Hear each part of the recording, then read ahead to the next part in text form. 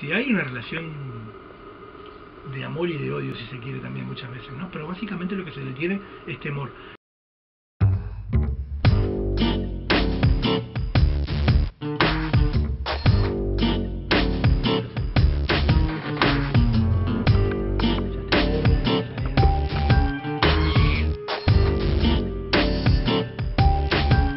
En este momento en el mundo hay unas 1600, 1700 especies de escorpiones conocidas, de las cuales solamente 20 o 25 son realmente peligrosas para el ser humano.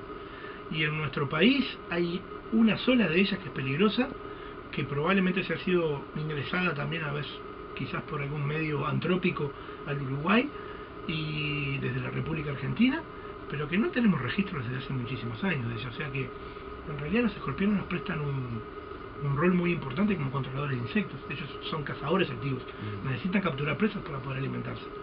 Y muchas veces eso está relacionado con la captura fundamentalmente de insectos.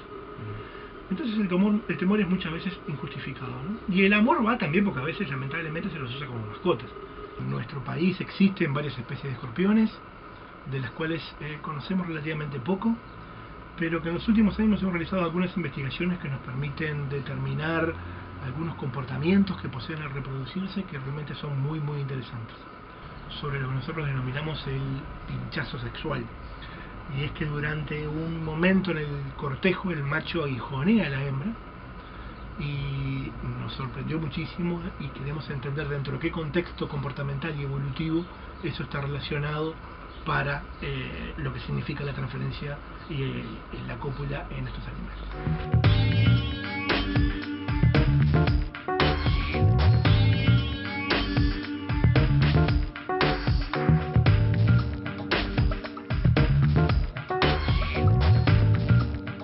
Increíblemente este patrón tan difícil de explicar, donde, ya te digo, un contexto de seducción como es el, la transferencia del esperma y la cópula en sí, encontramos un comportamiento que en principio nos parecía a nosotros tan agresivo, como es que el macho hijonea a la hembra.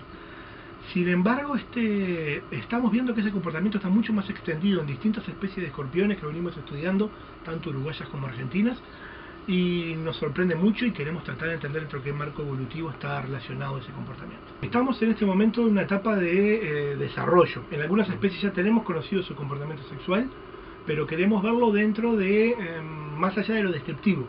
Tratar de, por ejemplo, hacer una serie de experiencias que nos permitan eh, buscar evitar que ese comportamiento ocurra durante el, el, comportamiento sexual y ver si realmente es efectiva la transferencia espermática. Para saber si eso está a la luz de dos grandes teorías evolutivas en este momento, grandes teorías de índole sexual en este momento, que son eh, la cohesión sexual antagonista, donde eh, se habla de cierta coerción, y la, y la elección críptica femenina, donde es la hembra la que decide si realmente acepta copular con ese macho o no.